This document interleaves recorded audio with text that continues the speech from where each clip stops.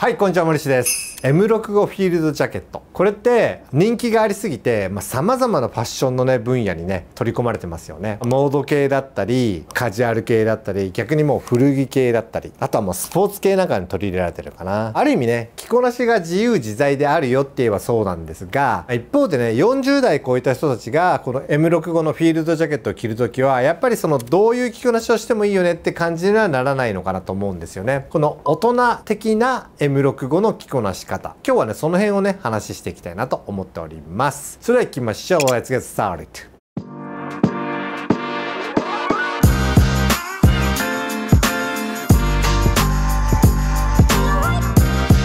あまりにも便利すぎる M65 フィールドジャケット。1960年にアメリカ陸軍で使われたフィールドジャケット。それがベースになって作られてるものなんですね。で特徴的なのはまあいろいろあるんですがやっぱりこのね襟の部分このスタンドのこの襟の部分のこのジップの中に収容されたフード。こういう感じでフードが出てきてフード付きのパーカーになるというものですかね。でフードを入れたっぱなしにすると実はこれもう抜いちゃってるんですけどもすごくここがごつくねこうスタンドになってくれるという襟ですね。フードパーカーとしても使えるしスタンドカラーとしても使えるというこの 2way の着こなしができるよっていうことですかね。で個人的にはね僕はまあこれも外しちゃってますけどもフード部分はもう外すことが多くてなんかつけっぱなしだとすんごくごつくなるんであんまりこう大人向けの着こなしとしてはあんまり良くないのかなと思って僕は外しちゃうことが多いんですがそんな感じです。でであとはこの表にね配された4つのフラップポケット。これも M6 の非常にこう特徴的なポイントじゃないかなと思います。これミリタリー向けのね装飾なのでかなり目立つようにごつくボンボンボンと大きめのが作られてるんですけどもそれが変にミリタリーミリタリーしてなくてですね全体として程よいデザイン感に収まっちゃったというところがこの M65 がミリタリーを超越してですね普段のファッションの中でも非常に重宝されて使われている理由じゃないかなと思います。そんなこともあって冒頭にも言った通りこの M65 もう本当に大手のメゾンブランドから古着までカジュアルブランドからスポーティーなものまであらゆるところこでこの M6 をモチーフに解釈されて使われてるんですが、まあ、本当にその着こなしねいろんな着こなしがあるんですよね。本当にこれをショーツと合わせちゃう人もいますから。ただオーバー4040歳を超えたらどういう着こなしがいいかなっていう話なんですよね。じゃあ早速ねちょっとどういう着こなしがあるか見ていきたいと思います。まずは鉄板なのはデニム合わせでしょうか。これは本当にさっき言った全ジャンルでデニム合わせはいいよねって意図されてる着こなしではあります。ただオーバー40的な着こなしとしてはデニムにねちょっとだけ気を使いたいなと思います。ボロボロになってダメージしちゃった太めのものに合わせるというよりはダメージしないちょっと綺麗めのデニム。でスリムでシルエットもちょっと細めのものっていうのがいいかと思います。でさっき言った M65 の幅の広さって逆に言うとですね合わせるアイテムによって全然印象を変えてしまうんですね。これがダメージすごい入ってる太めのものに M6 を合わせるともう M65 自体もめちゃくちゃカジュアルでミリタリーなアイテムに見えますし逆にこんな感じで普通の細身のデニムの綺麗めなものと M6 を合わせてあげると M6 自体もねちょっと綺麗めなコートに見えるんですよね。なのでその M65 をなるべくこう綺麗めなコートに見せるコーディネートっていうのがオーバー40には必要かなと思うわけです。こちらねブラックデニムですね。こんな感じでブラックデニムなんか合わせるともう簡単に大人っぽく決まるかなと思うんですよね。中にさらっとニット着て上に羽織るだけでも十分かっこよく決まります。であとは同じくデニムでもねちょっと色落ちしたカジュアルめのデニムで合わせる時なんか逆にですねこんな感じはどうでしょうかね。上をホワイトっていうちょっと上品な M6 を使ってあげるんですね。で中のニットもこれジョンスメドレーの少しこうざっくり感のあるかっこいいニットなんですがこういったもののちょっと綺麗めのニットで合わせてあげると変にこうカジュアルカジュアルしないので大人っぽく決まるんじゃないかなと思います。もうこういう感じで着ちゃうとなんかそのミリタリー筋の何々っていうよりはドレス感のある高級なコートみたいな感じで着るることができますよね。この M6 個にはちょっと2つポイントがあって M6 個にっていうことじゃなくてこの M6 個ですね。アスペジの M6 個ってアスペジ自体がねあんまり装飾的なものを嫌うのと見ての通りアスペジっていうロゴも入ってないですよね。だからすっごいミニマルデザインがアスペジって得意なんですね。そういう意味で変にこう装飾的デコラティブな感じになってないっていうのが一つとあともう一つがこれね実は中綿が入ってるんですね。で今期はね M65 まあいろいろ悩んだ結果今までいろんなモデル展開したんですが今回もとにかく冬用にしようようと思って中綿入りに全部全予算投入しました。ということでファットなというか少しこうザクッとした M65 になってるんですよね。丈もちょっと長めかなと。なのでよりこうコートらしさが演出された M65 なんでいわゆる春に着てたナイロンの薄手のやつで腰丈ぐらいのブルゾンプラスアルファぐらいの M65 とはまた見た目が全然違いますんでだから上品なコートっぽい着こなしがしやすいというものになってます。なのでそのコートっぽさを利用してその次のコーディネートはジャケットを着た上で着るということですね。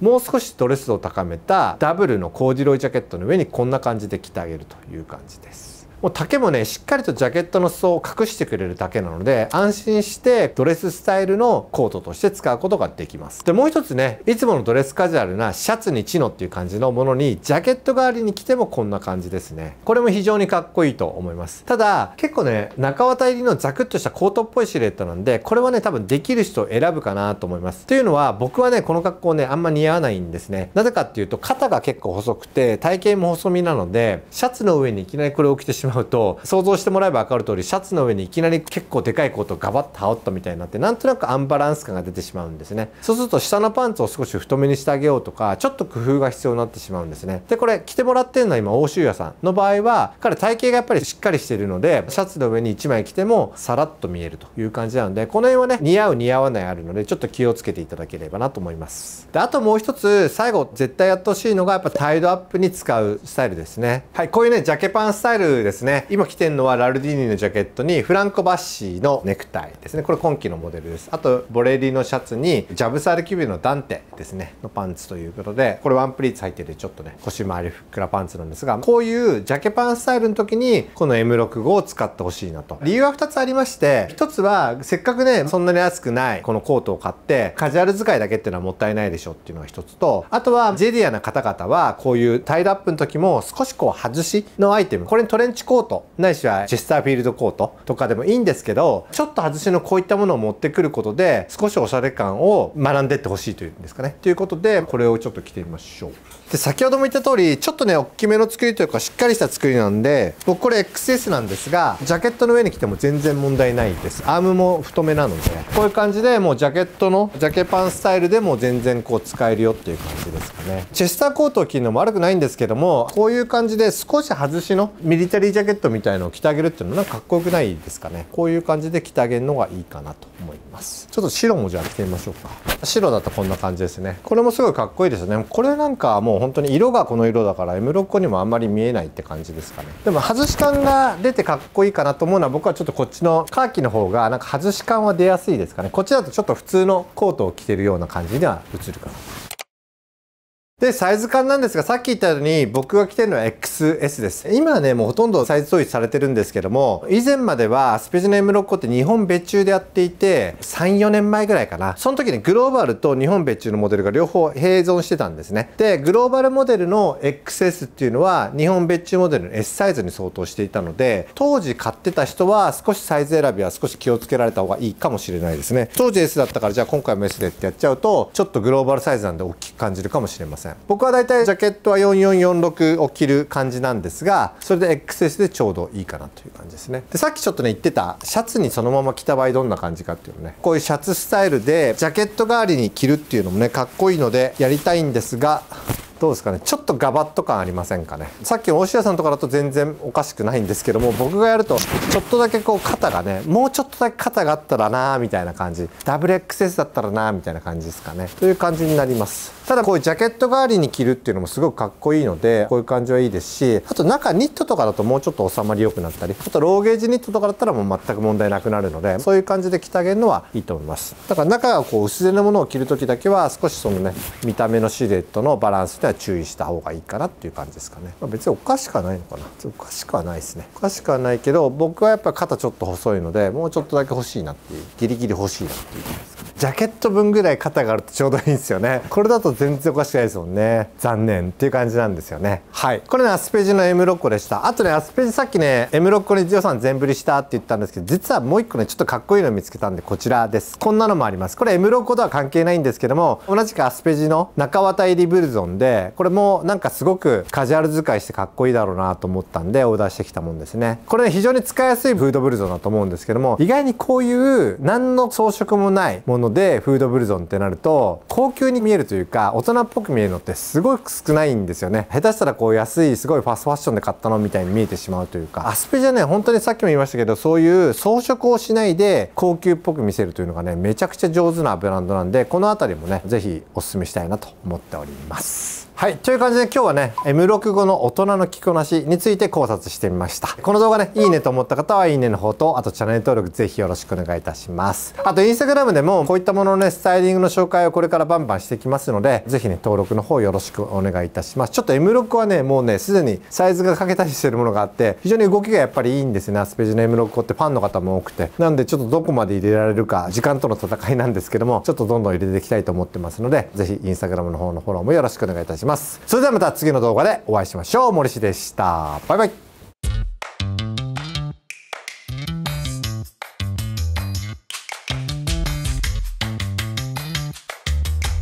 はい先日ねあのちょっと電話の方の問い合わせであるお客様からあのカスタマーサポートの方にねすごくありがたいコメントをねいただいたんですね。そちらをちょっとご紹介したいなと思います。ちょっとこそばよくなるようなお褒めの言葉も入っているのであのシンプルにちょっと読ませていただきたいというかまああのカスタマーサポートの方でメモってもらったものなんですがちょっと読みますね。ジェディアの YouTube を3ヶ月前から見始めてイタリアンファッションにドハマりしていますという、えっと、60代半ばの男性ですね。今までは作業着しか着たことなかったんだけど毎日動画を見るようになって試しにインコのパンツを買って履いてみて今インコのパンツを中心にイタリア系パンツを6本も買い揃えたということだそうです。履いた姿や満足感も高くて気持ちも高揚すると。今ファッションが楽しくてしょうがないとのことでしたと。毎日スタまで散歩してるのが日課だそうで作業着だったものをまずユニクロのセットアップに変えたらおしゃれになったねって言われるようになったそうなんですね。でその後ユニクロをインコに変えたらおおすごいな。かっこよくなったねって言われてすごい変化を感じるということだそうです。人のファッションも見るようになって生きるのが楽しくなった。で動画もね森氏のテンポの良い喋りに引き込まれてすごく好きで機微だったり考え方や紹介してくれるアイテムも魅力を感じると。とにかくこの楽しい気持ちを伝えたくてその問い合わせの時にカスタマーサポートのに伝えていただいたということなんですよね。あの本当にありがとうございます。この報告を聞いた時が僕はちょうどこうスタジオとかでスタイル撮影をしている最中だったんですね。ちょっとね泣きそうになったんですけどもあの正味な話。僕がやっぱり東京ライフというサイトを立ち上げた時に一番初めにやりたいなファッションサイトをやりたいなと思ったんですが、まあ、そういった時に、まあ、変なし誰にどういう価値を提供するのかっていう考えた時にですね自分が一番今のファッションのいろんなものお店とかメディアとかに対しての不満っていうのはおしゃれな人をおしゃれにしようみたいなところの努力っていうのはしてるけどもおしゃれじゃない人をおしゃれに興味を持ってもらっておしゃれが楽しいと思うようなこと動作っていうのはあんましてないなっていうことが僕はすごく不満を持ってたんですね当時。なんでなんかそれをできないかな東京ライフというサイトまあひいてはこのジェディアというショップでというふうに思ってたもんなんでその話を聞いた時少しでもできたのかなってっていうのを感じてすごくやっぱ嬉しかったんですよね。やっぱなかなか直接ねそういうことを言っていただける方もいないですしなんか本当に非常にこう自分がやりたいことが少しでもね伝わったかなっていうところが嬉しかったなと思いましたまずはねやっぱり僕はもうスタッフに関してはですね今そこにいる木口やセゴドンもそうですし高岩っていう他のスタッフもいたりしてまあ常に、いてくれるのはその2人がいるんですけどもにまず感謝ですし、まあ、それ以外にもね商品準備してくれる、まあ、イキってやつがいるんですけどもそれとか、まあ、それ以外にもいろんな人がね関わって本当にこの動画作ってるんで本当にまあそれでやっとこういったことができてるということでそういう人たちね、まあ、あの僕からまずは感謝なんですが、まあ、加えてやっぱこういったコメントいただける方にもねやっぱもう本当に支えられててコメントとか本当に結構へこむこともあるんですがピッとそういうコメントがやっぱ入るとね本当にそれでクッと気持ちが高まって10のなんかこう罵倒コメントがあっても1そういうコメントが入るだけでもそういう人がいるからやろうみたいな気持ちにやっぱなれるので非常に助かるなと思います。でセゴドンね今ちょっとここにいるんでちょっと呼び込みたいと思うんですけどセゴドン。はい。前もねちょっと出てもらったことあるんですけどもセゴドンじゃなくて木口屋さん木 口屋。彼が実はこの YouTube のディレクションは全部やってくれていてもう僕はもうあの喋るだけでまあ企画やってますけど企画して喋るだけで後の編集はね全部やってくれてるということでどんどんこうクオリティが上がってるのも彼のおかげです機材関係とかも。なんだけど実は彼ってカスタマーサポートの方のヘッドでもあるんですね。二足のわらじなんで。で今回はたまたまその時にちょっと電話が立て込んでて受けたのが、まあ、木口屋だったということなんですよね。それで木口屋が受けたもんだから直接僕のところに話が来たという感じでいつもありがとうございます、はい、という感じで電話ね受けさせていただいたのはあの木口屋ことセコトンでしたのであのありがとうございましたという感じなんですけどね僕の中では実はもう一つね隠れたちょっとあの思いがあって初心者の人がおしゃれを楽しんでいただきたいっていうのもあるんですけどももう一つがそういう人たちがじゃあそのジェディアのものをこれを見てですね着てった時におしゃれな集団に入った時でも遜色なくおしゃれに見させたいっていうのがすごく強くあるんですね。なんかこう中途半端に初心者なんだからこれぐらいでいいでしょみたいなものを勧めてなんかこうおしゃれな軍団に入ってみたらなんか自分浮いてるなってっていう感覚ってすごい嫌じゃないですか。僕もなんかそういう経験って別にそのファッションに限らずですけどしたことはあってなんかそういうのってなんかだったら別にもともとそんなおしゃれなんかに手出さなきゃよかったみたいに思ってしまう自分がいたりすると思うんですよね。だからやっぱりそういういわゆるおしゃれだと言われてる人のとこ入ってもなんかこう一目置かれてしまうレベルのおしゃれ。っていうものになれるようにしたいなと思っていてですねそこも手とにかく抜きたくないなと思ってるんですね。でもおしゃれに今まで興味なかった人もでも分かりやすくでもそれをちゃんと着ればおしゃれだと言われてる人にもおしゃれに見られるみたいなね。結構そこが自分の中で難しいと思いつつ、ま、やりきりたいなと思ってやってますのであの今後もあの本当にご愛顧の方よろしくお願いいたしますという感じでございます。ありがとうございます。